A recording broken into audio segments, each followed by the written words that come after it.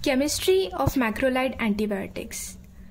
It contains three important structural components. First one is the macrolide core. It is a 12 to 16 atoms containing lactone ring.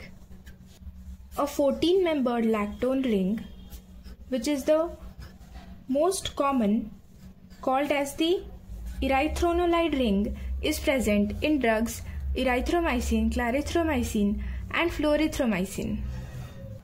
A 15 membered nitrogen containing lactone ring is present in the drug azithromycin, whose structure involves nitrogen lactone ring.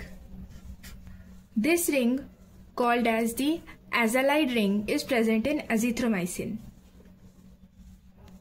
Second important structural feature is the functional group present.